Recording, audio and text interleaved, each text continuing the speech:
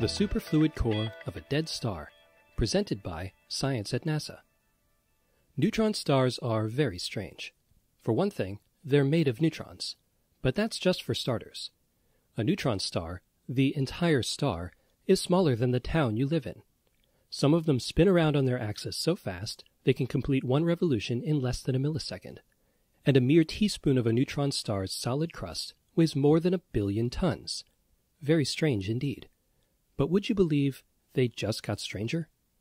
Astronomers using NASA's Chandra X-ray Observatory have discovered that neutron stars, one of them at least, has a superfluid core. A superfluid is a bizarre, friction-free state of matter that, here on Earth, exists in laboratories at temperatures near absolute zero.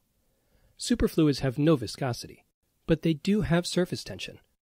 This weird combination causes superfluids to try to climb out of any cup they are placed in slithering up the sides and over the rim. Superfluids also have infinite thermal conductivity. They spread heat very rapidly. The thermal character of superfluids is what led to their discovery in a neutron star about 11,000 light years from Earth. The neutron star is spinning inside a supernova remnant astronomers call Cassiopeia A, or Cas A for short. Neutron stars are born in supernovas. They are the dead remnant cores of exploded stars, the Cas A explosion happened about 330 years ago, as seen from our planet. That means the neutron star is relatively young and still cooling off from that ferocious blast. It's cooling off so fast, in fact, it must have a superfluid inside to help conduct the heat. That was the conclusion of astronomers, who measured the temperature of the star using Chandra and found that it had cooled by about 4% over a 10 year period.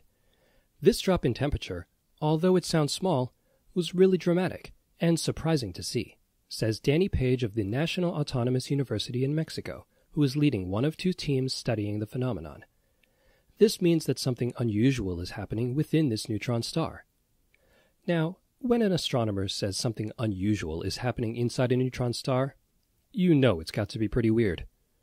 Page's team and others will continue monitoring the Cas neutron star measuring its temperature and spin rate to see if they can learn more about how superfluids behave at high temperature and density. It's the kind of information they could never get from an Earthbound lab.